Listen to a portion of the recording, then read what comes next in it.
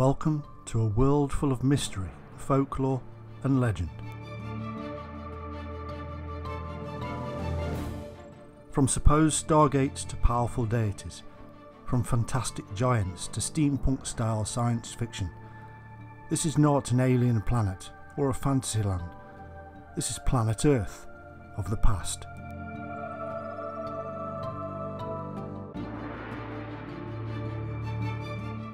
And yet, it was a world of wonder and great physical and mental achievements.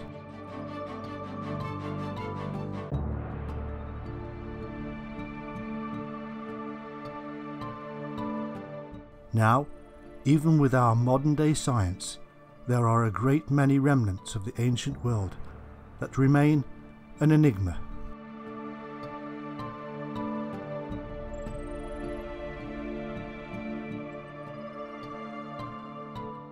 From the great civilizations of antiquity, will we discover the amazing works of architecture and art, huge monuments erected for gods and kings, mysterious artifacts rediscovered after remaining hidden for thousands of years.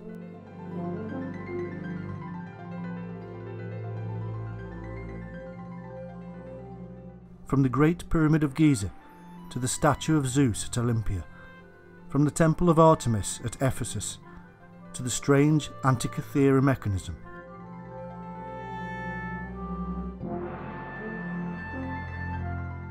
And as we move around the planet, we will unlock the secrets of Stonehenge, and through that, the movement of the planets.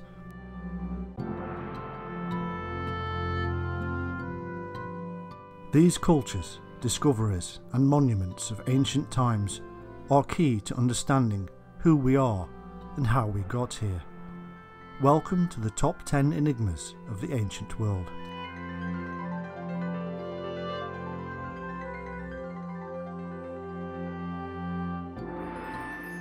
The Great Pyramid of Giza is also known as the Pyramid of Khufu or the Pyramid of Cheops and is the oldest and largest of the three pyramids in Giza Pyramid Complex, bordering what is now Giza in Egypt.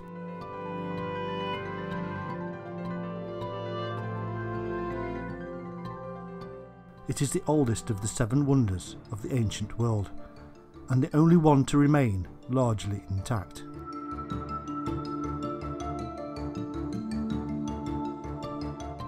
The title is based solely on a simple mark discovered in one of the interior chambers. It was named after the work gang and the dynasty of the pharaoh Khufu. Most Egyptologists believe the pyramid to be a tomb built over a 10 to 20 year period, around 2500 BC.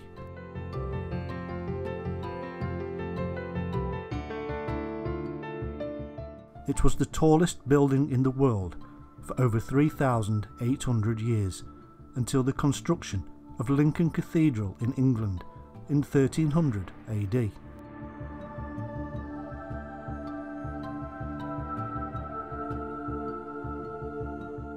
When first constructed, it was covered entirely by casing stones, making a smooth outer surface, unlike the rough zigzag style we see today.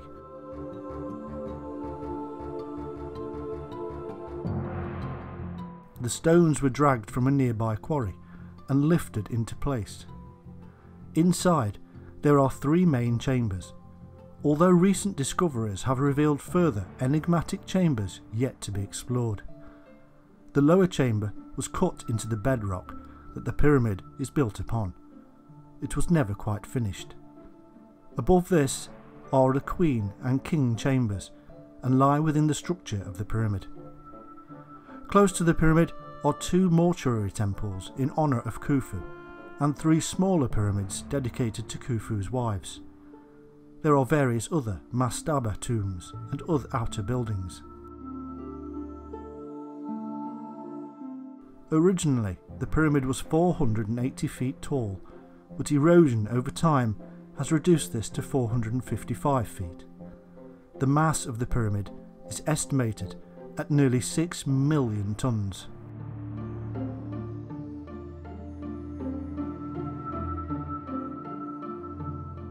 Over the 20 year construction period, the workers had to install 800 tons of stone every day and 12 huge stones placed perfectly every hour, day and night.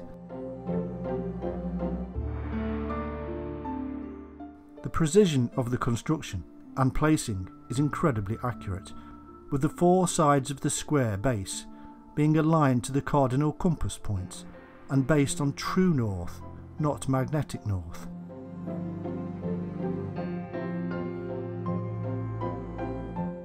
There have been literally hundreds of theories about the construction and use of the Great Pyramid of Khufu, from ancient aliens to Earth energy alignments, and even magical stargates to other worlds. But the fact remains that this is one of the greatest human feats of construction ever, and even today, with our modern technology, we would struggle to equal it.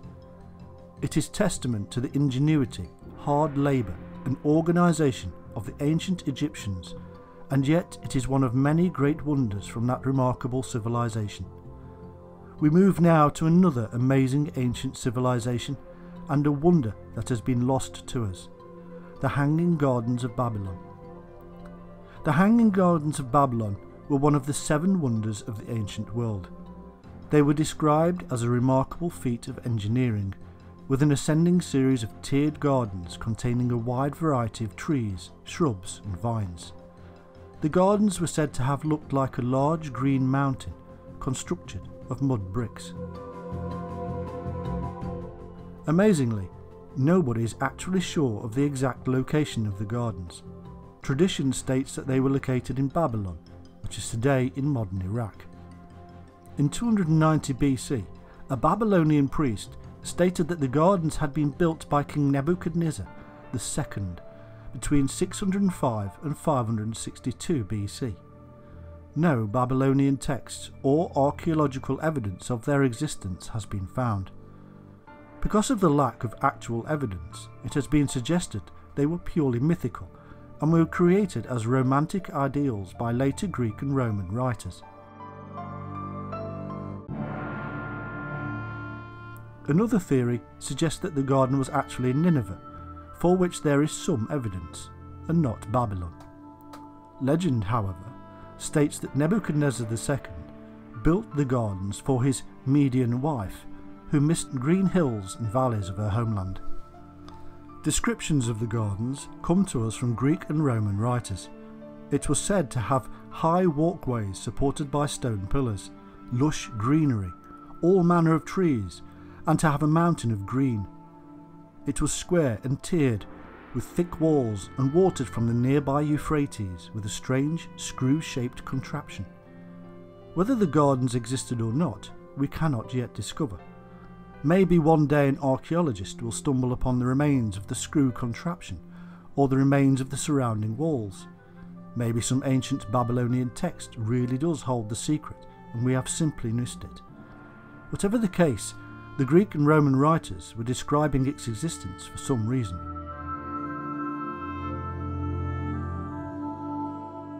We move now to Greece and the statue of Zeus at Olympia. The statue of Zeus at Olympia was commissioned by the custodians of the Olympic Games in the latter half of the 5th century BC for their recently constructed Temple of Zeus.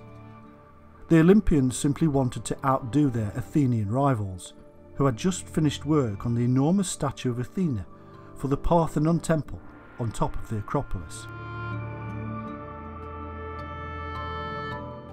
To do so, they employed the skills of the very sculptor who had just completed this massive statue. His name was Phidias. Interestingly, Phidias may have been somewhat of a tricky character. The Roman historian Plutarch tells us that Phidias was actually accused by the Athenians of keeping some of the gold intended for the statue of Athena to make himself rich. There are even rumours that he later died in prison soon after building the statue of Zeus, although we can only speculate as to the reason for his imprisonment. The statue of Zeus took up half of the width of the temple in which it was situated, and it had a height of around 13 metres. It was made with ivory and gold panels on a wooden structure. Normally, there would have been smaller copies made, and this may have been the case, but alas, none have survived. We do have coins and engraved gems with the image of the statue. We can thank the 2nd century AD traveller Pausanias for giving us a good description of the statue. It was crowned with a wreath of olive sprays and wore a golden robe made from glass with carved animals and lilies. In his right hand, Zeus held a smaller statue of the goddess of victory, Nike. In his left, he held a sceptre supporting an eagle. He sat upon a magnificent throne with painted figures decorated with gold and precious gems, ebony, and ivory. The statue was constantly coated with sacred olive oil to protect the ivory. The floor was of black tiles, making a stark contrast and surrounded by a rim of marble containing the olive oil. The reflective power of this oil reservoir on black tiles would have been amazing.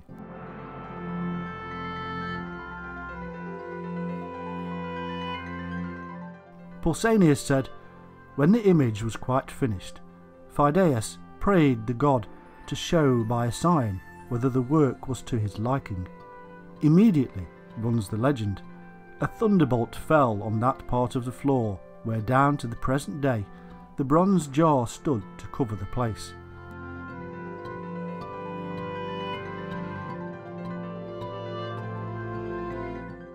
After the statue's construction, Phidias was asked how he had created such an impressive and lifelike depiction of Zeus.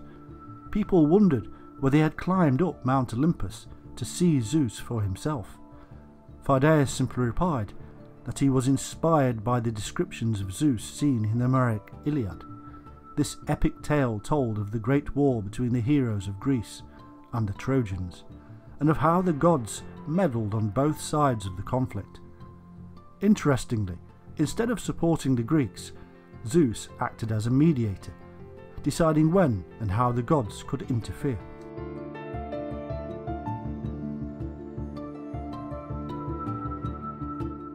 Zeus was especially revered by the Greeks as the king of the gods and the ruler of the universe. In the distant past, he had led the gods in a war against the great Titans who contested the Olympian gods' right to rule the world. By defeating the Titans, he gained control of the earth and earned the respect of both mortals and immortals everywhere.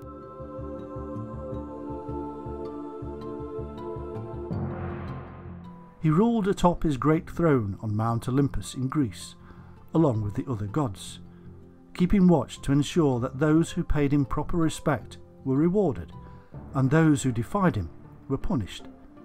He surely looked kindly upon those worshipping at his temple at Olympia. However, in the 4th century AD, the Christian Roman Emperor Theodosius banned pagan cults and closed all the temples. Nobody used the temple at Olympia anymore, and tradition states that the statue of Zeus was even carried off to Constantinople, where it was finally destroyed in the Great Fire of 475 AD.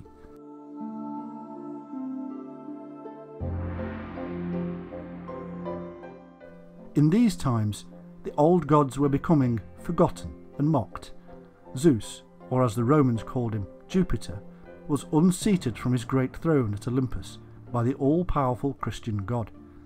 Romans and Greeks alike turned to the teachings of Christ rather than the epics of Homer and Hesiod for their moral guidance.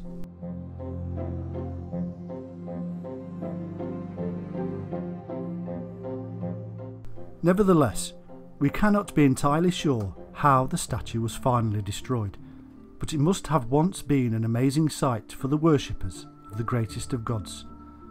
We now turn to another Greek temple, the Temple of Artemis at Ephesus, as part of our investigation into the statue of Zeus, to understand a little more.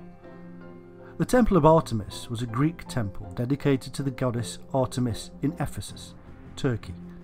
It was one of the seven wonders of the ancient world and was rebuilt three times before its final destruction in 401 AD.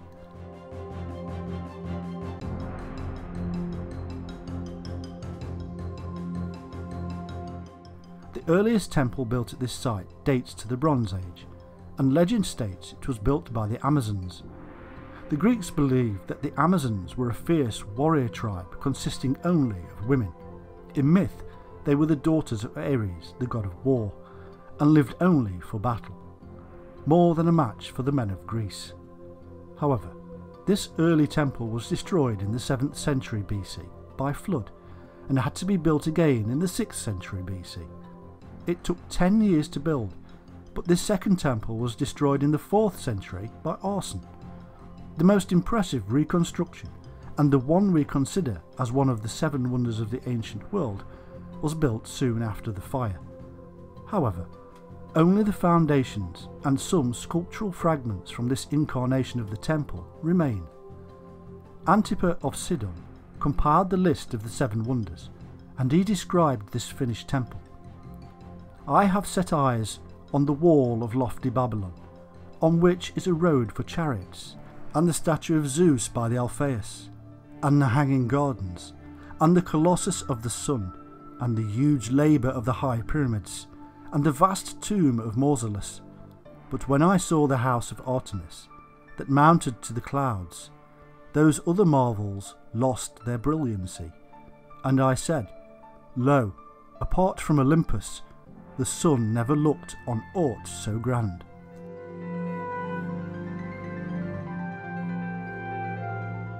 However, the site of the temple had been considered sacred long before a temple was constructed. It is clear that the location had previously been a place of worship for the great goddess, but little is known about its original cult deity. The wealth and power of the new temple was evidenced by the power of Artemis in Ephesus itself, and would have attracted huge numbers of pilgrims between March and May to attend the great processions of Artemis.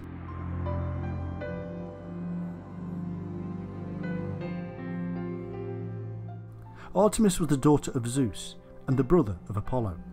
She was the goddess of the hunt, wild animals, the wilderness, and the protector of women and young girls. Artemis was said to have hunted alongside her companion and lover, Orion. It was said that when Orion died, Zeus placed him among the stars as the constellation. Shrines and temples to Artemis can be found across the ancient Greek world, but none stood out as much as the one at Ephesus.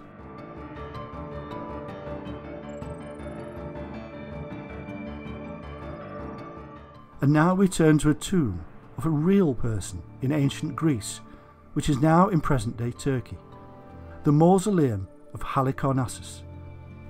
It was a tomb built between 353 and 350 BC at Halicarnassus for Mausolus, a satrap in the Persian Empire, and his sister wife Artemisia II of Caria. The structure was designed by the Greek architects Satyros and Pytheas of Priene.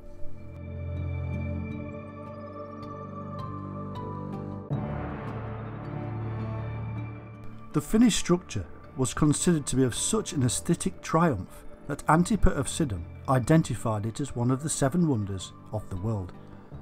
In the 4th century BC, Halicarnassus was the capital of a small regional kingdom on the western coast of Asia Minor. Although the rulers of Halicarnassus were largely independent and free, they owed their loyalty unpaid tribute to the Persian King of Kings, ruling from what is modern day Iran. Centuries earlier, the Persians had defeated the Lydians, Carians, and Greeks of Anatolia to dominate the entire region of what is now Turkey. The Persian Empire controlled a vast territory controlling lands from the Ionian Sea and Egypt in the west to as far as India and Afghanistan in the east.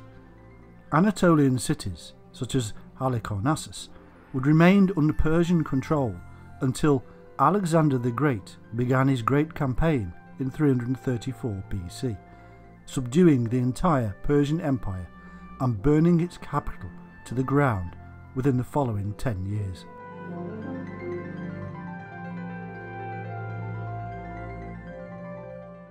However, in 377 BC, the nominal ruler of the region died and left control of the kingdom to his son, Mausolus. Mausolus ruled from Halicarnassus over the surrounding territory on behalf of the Persian king for 24 years.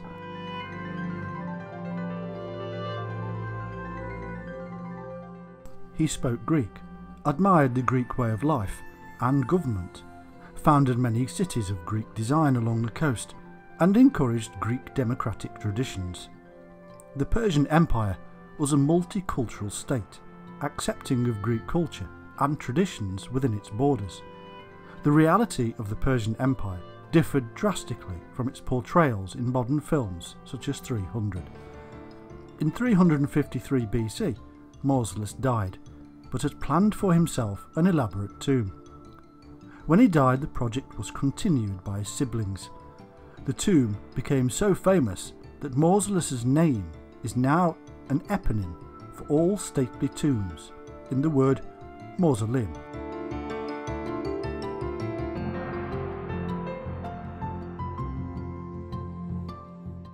No expense was spared in building the tomb, and the most talented Greek artists of the period were drafted in.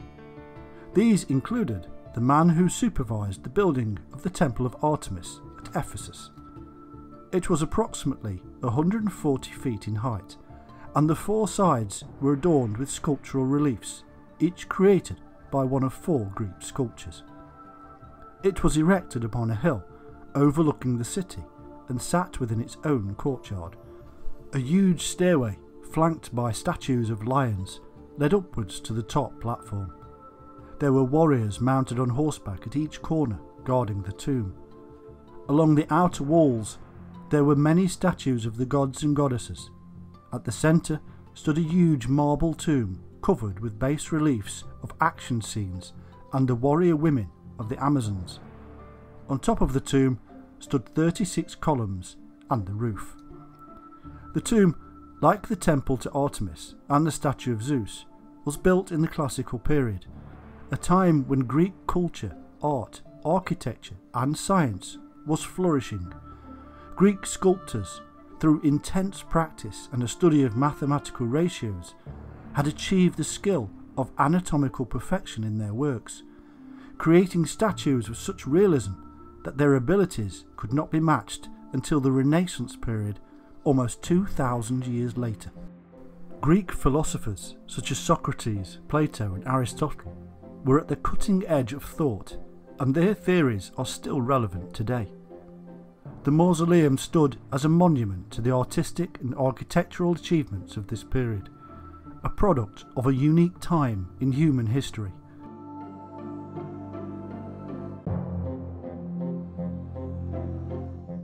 Nobody knows when or how the mausoleum was destroyed, but texts from the 12th century AD state that it was still a wonder even then. It is possible that an earthquake destroyed it in the 14th century, because the Knights of St John in 1402 recorded that it was nothing but ruins. These same knights used the ruins to construct their castle at Bodrum.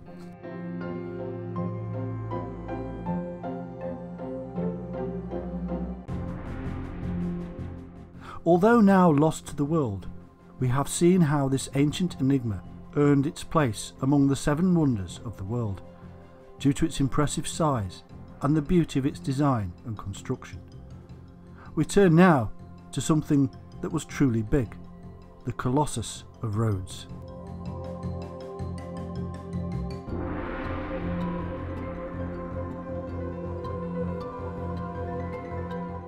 The Colossus of Rhodes was a statue to the Titan god Helios, worshipped by the Greeks as the personification of the sun.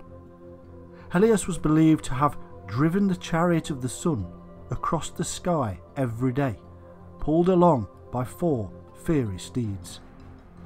The cult of Helios was in fact especially linked to Rhodes.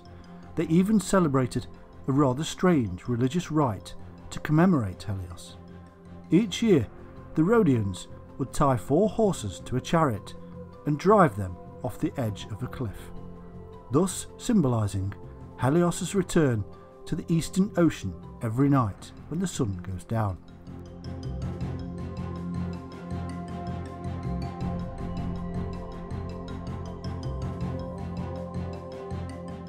Built around 292 BC, the Colossus was named as one of the seven wonders of the world.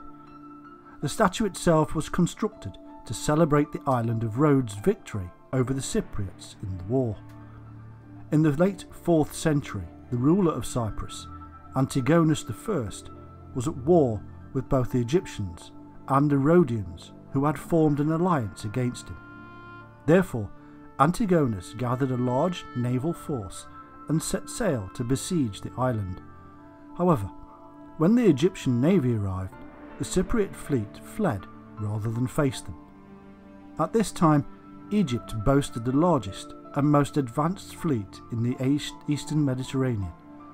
Only the Roman navy of the Emperor Augustus was able to defeat it nearly 200 years later.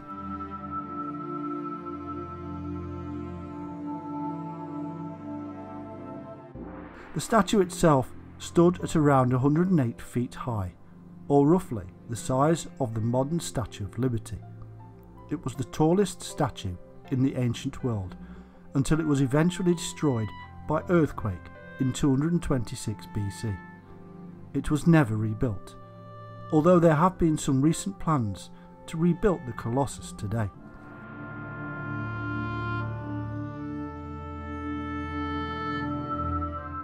Although there are some minor disagreements regarding its actual construction, it is believed that it was built with iron tie bars with brass plates fixed to them forming a skin. As the construction grew, the insides were filled with stone blocks. The iron and bronze was itself reforged from the weapons used by the Cypriots in the siege which the statue commemorates. The scaffolding used in the statue's construction was even constructed using the remains of the siege towers which the Cypriots had left behind. The very upper segments of the statue were built via access from an earthen ramp or piles of earth. When complete, the earth mounds were removed, leaving the statue standing alone. It is said the base pedestal was 59 feet in diameter, the feet carved from stone and covered in thin bronze with riveted plates. There were eight iron bars forming the ankles and brass plates covering them, infilled with stone. In total, it took 12 years to construct this massive structure. This in itself was a massive achievement, especially when we consider the fact that the Statue of Liberty took around 9 years to construct using 19th century techniques and technology.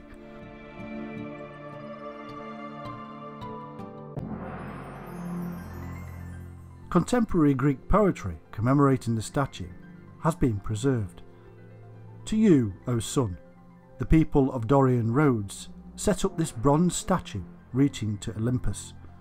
When they had pacified the waves of war and crowned their city with the spoils taken from the enemy. Not only over the seas, but also on land did they kindle the lovely torch of freedom and independence. For to the descendants of Heracles belongs dominion over sea and land.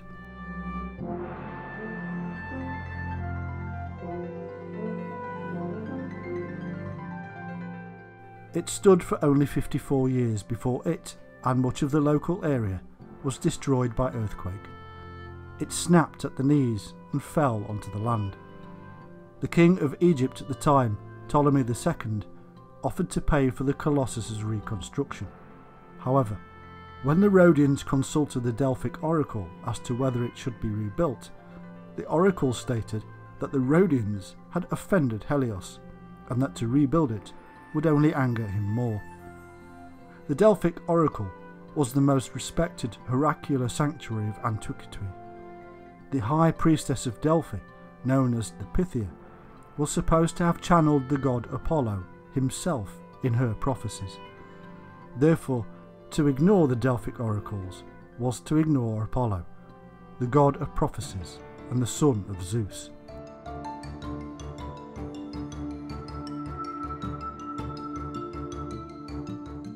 With the Rhodians having refused to rebuild the Colossus, it remained laid on the ground for 800 years until the new Muslim Caliph had it melted down and sold to a Jewish merchant in Edessa it took 900 camels to carry the bronze.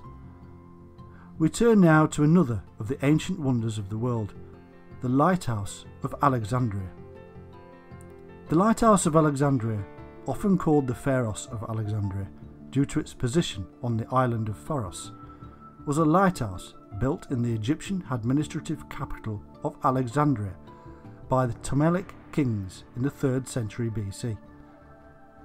Egypt had originally been part of the Persian Empire. However, in 332 BC, Alexander the Great took control of Egypt during his conquest of Persia. When Alexander died, one of his generals, Ptolemy I, took over rule of the nation and founded the Ptolemaic dynasty. This brought an influx of Greek culture to Egypt, especially in the city of Alexandria, where the Great Lighthouse was built.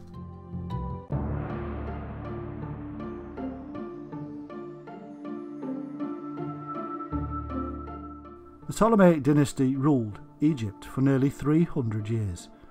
The last ruler of an independent Ptolemaic kingdom was the famous Cleopatra, who committed suicide as the Roman legions under Augustus invaded Egypt in 30 BC.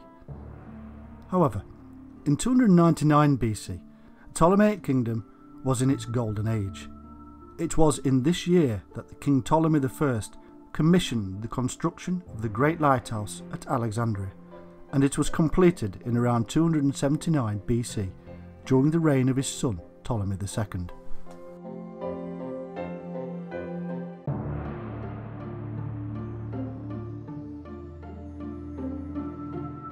The construction was extremely expensive, costing around 800 talents of gold, the equivalent to almost 1 billion US dollars today. It quickly became a prototype for lighthouses across the world. The light itself was said to have been produced by a great furnace at the top, and the tower built from solid limestone.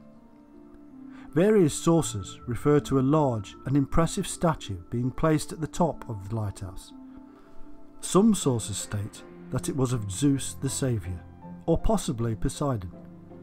Other sources claim that the statue was either Alexander the Great or Ptolemy I, represented in the form of Helios. All of these are fitting suggestions. Zeus, the saviour, would protect the ships and guide them to the harbour. Poseidon, as the sea god, could equally protect ships travelling to and from Alexandria. The statues being either Alexander or Ptolemy would also make sense. Alexander founded the city itself, whilst Ptolemy I was the founder of the Ptolemaic dynasty. The lighthouse has been estimated to have been over 100 metres tall and was the tallest man made structure in the world for hundreds of years until AD 956.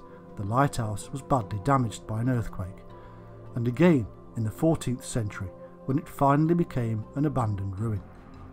In 1994, French archaeologists discovered some remains of the lighthouse on the floor of Alexandria's eastern harbour. The stones of the lighthouse itself were locked together and sealed by molten lead. The structure was built to last and had to be able to guide ships, whatever the weather.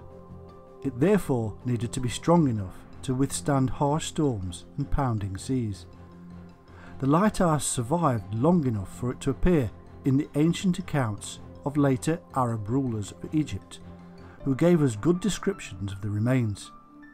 They state that the tower was made from tapering tiers with a lower square section, lower central core, a middle octagonal section, and at the very top a circular section.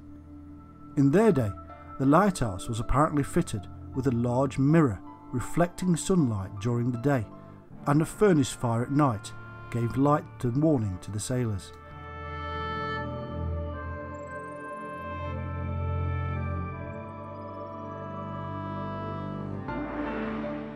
Although accounts about how the building looked vary, it is clear that the Lighthouse of Pharos was a truly powerful architectural construction that not only saved lives and awed all who beheld it, but it also served as an example to subsequent generations. Across the world today, there are thousands of lighthouses that all owe their origin to this remarkable human achievement.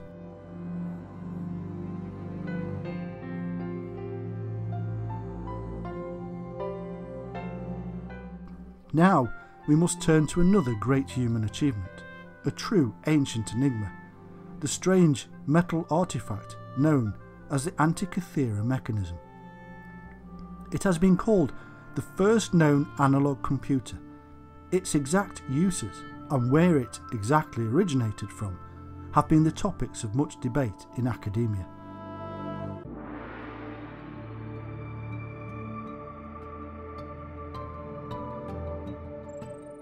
The object itself was found inside a wooden box in a shipwreck off the coast of the Greek island of Antikythera, hence the name. When the mechanism was discovered in 1900, it was ignored due to the fact that it appeared to just be a lump of corroded bronze. It eventually took two years before scholars realised that there were gears embedded within this lump, and that this was no discarded hunk of metal, but one of the greatest discoveries in archaeology, the world's first computer. Because the object is so well made and so sophisticated, it is clear that there must have been many other prototypical preceding models, as well as likely contemporary versions. This raises a new problem. Where are they, and why have we not discovered them? In fact, the truth to this may be right before our eyes, with such ancient structures as Stonehenge. Constructions created to aid navigation and reading the movements of the planets. The Antikythera mechanism's very construction relies heavily upon a knowledge of astronomy and mathematics. It was a clockwork construction consisting of around 37 bronze gears. These gears allowed the mechanism to track the movements of the moon and the sun through the zodiac, predict eclipses, and even model the irregular orbit of the moon. The exact date in which the mechanism was made is contested. Some scholars state that it was made in around 87 BC and lost only a few years after.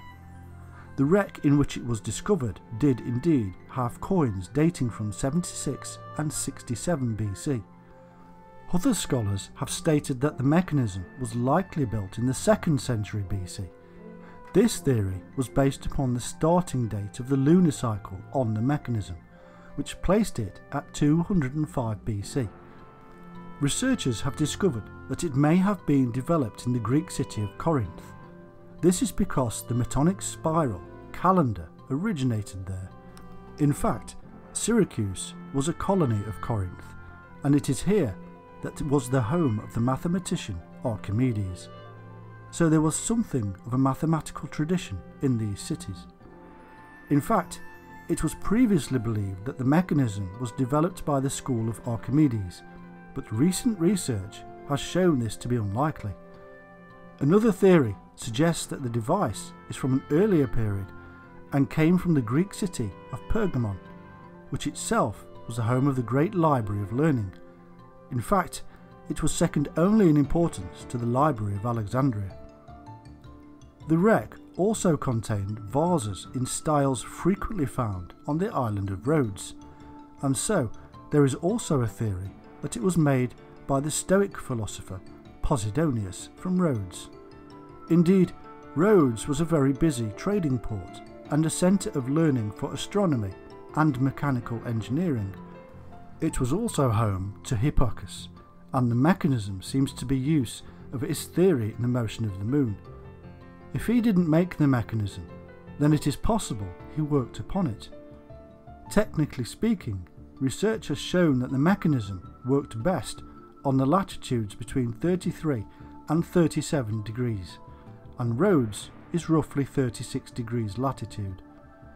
So if the mechanism was especially calibrated to work in the vicinity of Rhodes, is it not also likely that the mechanism was constructed there? It could, of course, be that there are many devices and that each one was made to order for a particular customer base whose shipping was based in a particular area. However, according to some theories, the mechanism fits best with the Babylonian mathematical style than that of the Greeks. Could the mechanism have been developed in the east and then shipped to the west?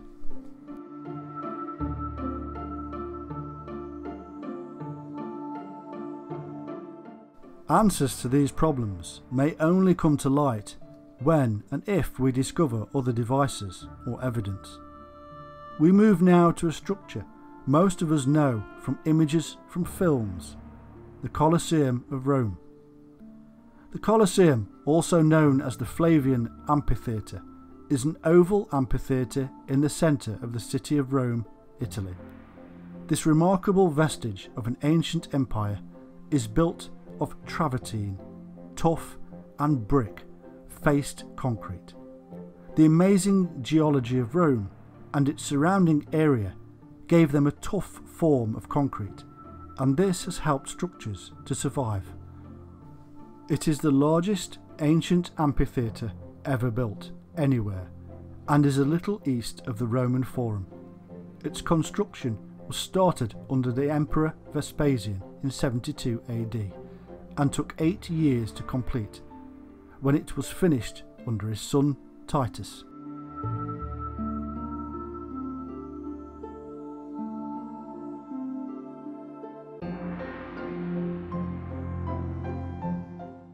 Some changes to the structure were later made under Domitian. These three emperors were of the Flavian dynasty, and the Colosseum was named after them. In fact, the name Colosseum is not an entirely accurate name for the building, and instead refers to the Colossus statue of Nero which stood nearby. This giant bronze statue was named after the Colossus of Rhodes and stood as a symbol of the emperor's power. This giant statue no longer survive. However, all we are left with are a statue base and a name. It is estimated that the Colosseum itself could take between 50 and 80,000 spectators, with an average audience of 65,000. In the main, it was used for gladiator contests, mock sea battles, animal hunts, executions, battle reenactments, and plays. The gladiators of ancient Rome were highly trained professionals and often became famous celebrities. However, they were also legally slaves, and their lives no longer belonged to them. Unlike what the movies would have us believe, many gladiatorial matches ended with no deaths whatsoever. Sometimes an owner of a gladiator could even be compensated if his gladiator died unexpectedly. Deaths were not uncommon though. A defeated gladiator was at the mercy of the crowd and the game's sponsor. If the verdict of the sponsor and crowd was that the defeated gladiator should die, then he was expected to comply with his own execution with honour. However, if the defeated gladiator had fought well, or was particularly popular, he was usually spared. The dream of every gladiator was to fight so well that he would be granted the rudis, a symbolic wooden sword granting the gladiator his freedom from a life of slavery and constant battle.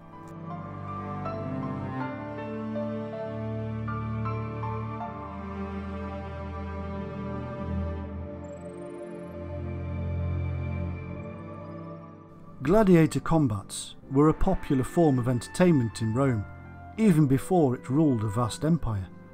However, as a city of over one million people by the reign of Vespasian, the Romans required a larger venue for their grotesque spectacles.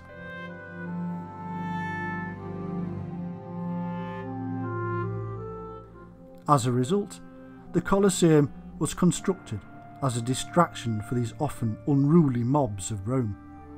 An emperor's power and life depended on keeping the Senate, the army, and the people happy.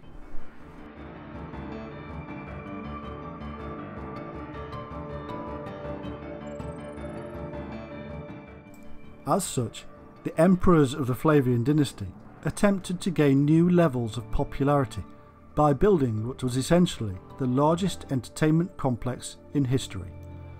If the emperor had the backing of the plebs, his reign was likely to be longer and more secure. It was not until the medieval period that the building ceased to be used for entertainment. In fact, it became a place for housing, workshops, a fortress, a quarry, and even a Christian shrine. It still stands to this day, having survived earthquakes and robbers, and is a massive tourist attraction for Rome. Today we know of this wonderful building from films such as Gladiator, and it has been an iconic element of literally thousands of movies over the years.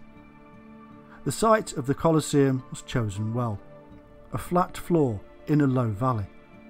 The area was densely populated, but in 64 AD, a devastating fire broke out, and Nero seized the area for his own personal palace complex. This decision was unpopular among the elite of Rome, who eventually turned against Nero. Nevertheless, Nero was a popular emperor among the common people, and Vespasian, as Nero's successor, realised the power of populism. Schools for gladiators and other supporting buildings were constructed as Vespasian, in his mighty statement, chose the area of Nero's palace complex for the Colosseum, and was therefore giving back the city area to the people. It was placed in the heart of Rome, and therefore the heart of the empire itself, a powerful and popular decision. It was funded by the spoils of war, namely the treasure taken from the Temple of Jerusalem after the Jewish revolt in Judea was brutally crushed by Vespasian. According to a reconstructed inscription found on the site, the Emperor Vespasian ordered this new amphitheatre to be erected from his general's share of the booty. This share was paraded through the streets in triumph. Even the holy menorah from the now destroyed Temple of Jerusalem was carried through the streets in a blatant display of imperial power.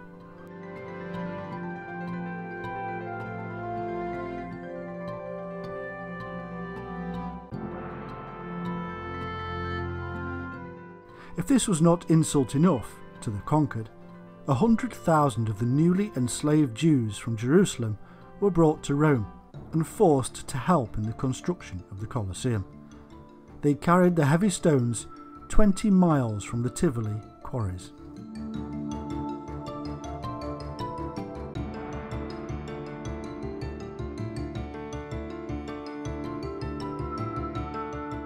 This was not an unusual sight in ancient times. The great classical civilizations of Greece and Rome were built and maintained by slave labour. And there is another amazing construction from ancient times that also took a lot of manpower and involved the movement of massive stones over a great distance Stonehenge. It is an iconic structure set upon a lonely area in Wiltshire, England. It is a massive, complicated and enigmatic stone circle. It is a ring of standing stones approximately 13 feet high and 7 feet wide and weighing around 25 tons. They are set inside an earthwork or built up area of earth and form part of a massive Neolithic or New Stone Age and Bronze Age area. There are also several hundred burial mounds of what we assume to be very important people. In fact, it has changed and altered over the years. Its construction began around 3000 BC and carried on until around 2000 BC. The earliest phase of development is the earthwork surrounding it, made up of a bank and ditch and dating from around 3100 BC. The large bluestones date from around 2400 to 2000 BC, but they could have been on the site in some time, from 3000 BC. In truth, it is very difficult to be more precise, and every year new secrets are uncovered. The British government had to officially protect the area in 1882, and it is owned by the Crown and managed by English Heritage. Its purpose has been the subject of much debate. Everything from ancient aliens to witches have been thrown into the pot.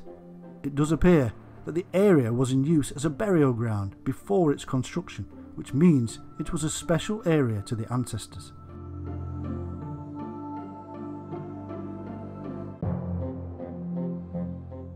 The people who built Stonehenge have left behind no written records. There are no hieroglyphs to help us decipher the secrets of Stonehenge. We have no real idea how it was built or its real use. It may very well be that it had multiple uses, as a Christian cathedrals do today. People are baptized, married, and buried on holy grounds to this day, and this may be true of Stonehenge. It is a fact that the stars, sun, and moon align with Stonehenge, and this could be for various reasons. The heavens were holy, it was where many of the gods resided. Aligning a monument to the heavens aligns us to them and to our ancestors' spirits. It is also excellent for calendrical purposes. What time of year is it? What time of day? Where are we going in the processional year? And all of this is useful for any civilization planting crops, following herds, and for navigation and trading. Saying anything further than this is speculation. Indeed, much of that is speculation. We simply do not know for sure.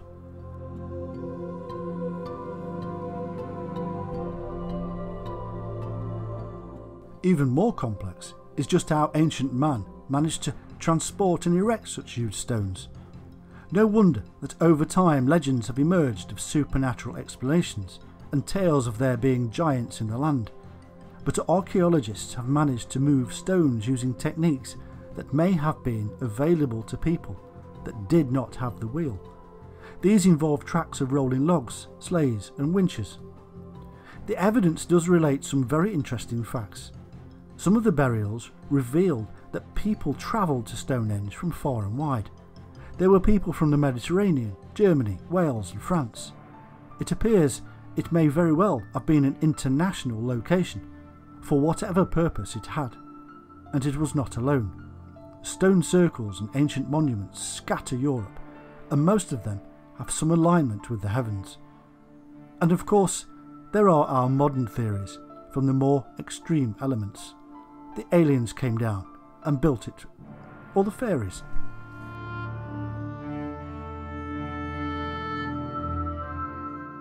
It has, however, been proven that the blue stones do have unusual acoustic properties. These properties could explain why the blue stones were chosen and dragged 200 miles. Whatever the case, there is still a lot to learn from the amazing ancient place that never made it into the Seven Wonders of the World list. We will briefly move now to a location that modern man has designated one of the Seven Wonders Machu Picchu.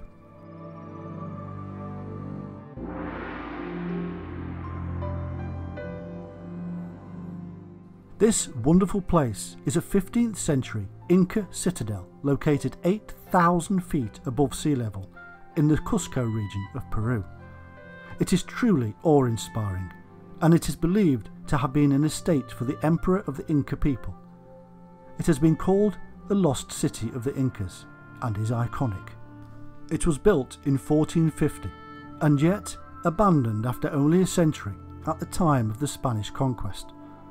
The Spanish had no idea about its location and it was only brought to international attention in 1911. Polished dry stone walls make up the three primary structures and outlying buildings. Some have been reconstructed to give modern tourists a better idea of the original layout.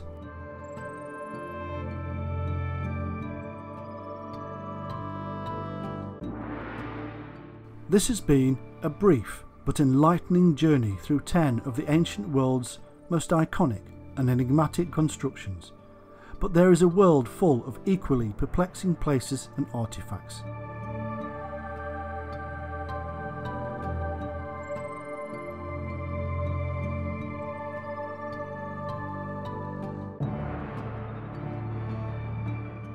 Many of these ancient marvels were a mystery to their discoverers, but the persistent and resilient work of countless historians, archaeologists, and scientists help us to slowly unlock the doors to the ancient past. And as each year passes, more and more is revealed.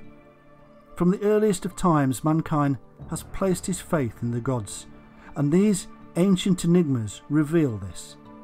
They also reveal the ingenuity of mankind over the millennia. We may think that we work hard that we are clever with our mobile phones and technology, but our ancestors were no less ingenious. There is no need for aliens, fairies, or giants in the land. Mankind has been the one true enigma behind all of these fascinating finds, and what we leave behind us today will be spoken of by our successors in the distant future.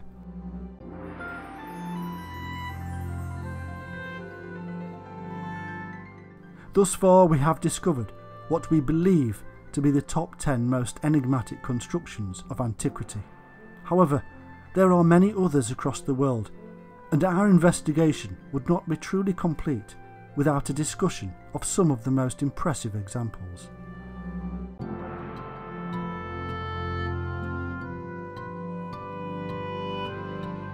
Heading eastward in space and backwards in time, we come to one of the largest ancient constructions ever built, the Great Wall of China.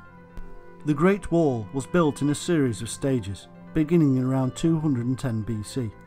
It was at this time that the Emperor Qin Shi Huang commissioned the start of the building of a great wall to protect the Chinese Empire from the marauding barbarians.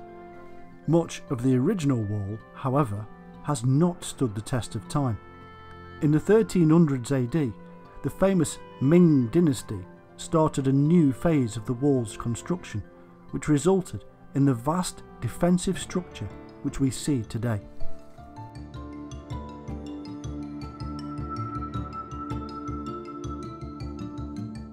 Made up of a number of sections along China's northern and western borders, the Great Wall covers a staggering 21,196 kilometres, thus making it the longest defensive wall ever built. To scholars, the construction of this great winding stone serpent was a mystery. However, it has become clear that the Great Wall was completed using the labour of millions of people. These labourers were predominantly soldiers, but a large number of common people assisted in the construction. One section alone was constructed by around 1.8 million people. Criminals were even used. They were required to serve four years of hard labour on the wall, acting as builders, but also forced to patrol it.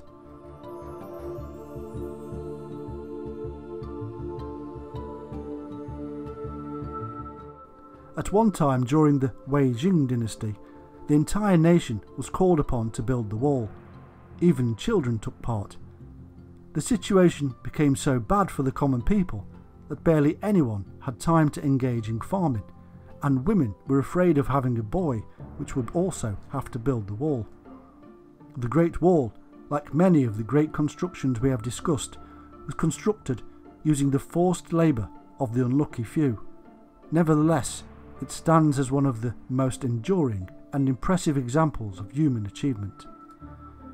Having taken our investigation far to the east and far to the west, we return now to Europe to discuss one of the most impressive ancient buildings which can still be visited today, the Parthenon of Athens.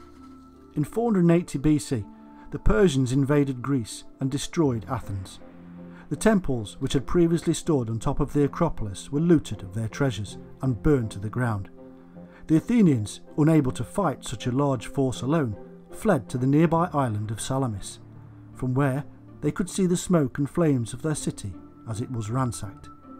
When the Persians were finally defeated by the Greek coalition led by Sparta and Athens, the burned ruins of the Acropolis's temple were left untouched for many decades, as a reminder to the Greeks of Persian sacrilege.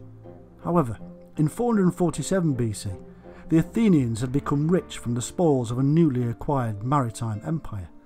To demonstrate to the world their newfound strength, the Athenians began the construction of one of the most beautiful and impressive structures of antiquity.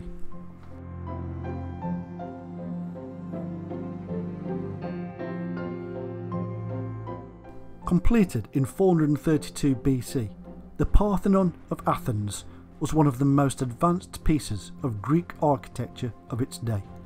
It is, in fact, still considered to be the prime example of an architecturally perfect Greek temple.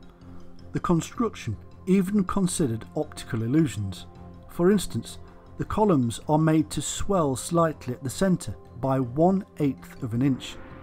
This is because, from a distance, slightly curved columns appear to be straight, whereas a straight one does not.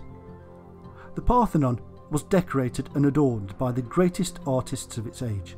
For example, a giant ivory and gold statue of Athena was designed, constructed, and placed inside the temple by the great artist Phidias. The structure remained intact until the 17th century, when it was largely destroyed by an explosion.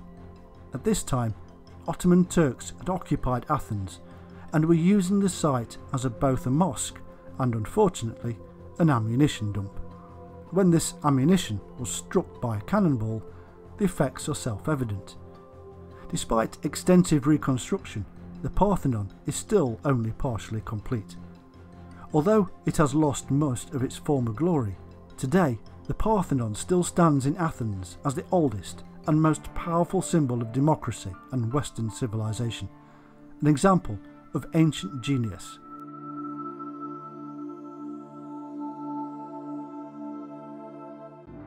We now turn to the Greeks' cultural and geographical neighbours, the Romans, to discuss another impressive example of human ingenuity.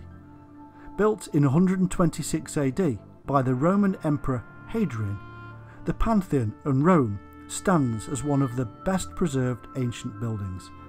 This structure is currently serving as a church in the centre of Rome, but during the Roman Empire, the structure was a temple to the entire pantheon of Roman gods. The building itself is circular, with a colonnaded portico. Its most impressive feature is the dome built from concrete. In fact, the dome is still today the world's largest unreinforced concrete dome.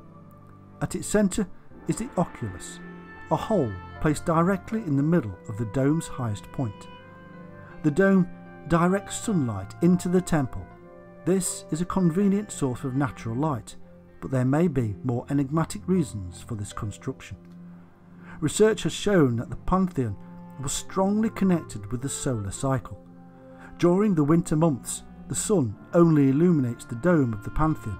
However, on midday, April the 21st, the supposed date of Rome's founding, the oculus directs sunlight directly towards the entrance. Some scholars believe that this was planned to coincide with the emperor's entrance to the temple during a great ceremony. The sunlight would have bathed the emperor as he entered the pantheon, raising him to the status of god. Emperors were worshipped across the empire as divine figures in the imperial cult, and this ingenious construction will have reinforced this connection. In our great journey through the ancient world, we have discovered some of the most impressive feats of human ingenuity. Our top 10 list describes some of the most enigmatic structures and inventions from the beginning of recorded history. But we have also seen other examples from east to west, BC to AD, of humanity's most awe inspiring achievements. The history of the human race is far from over. Perhaps the people of the far future will look back at our time and wonder at our achievements also. They may see traces of our cities of glass, our flying machines, our ingenious devices, and ask the same questions we ask of the ancients. One day, all we did today and who we are may be just another enigma.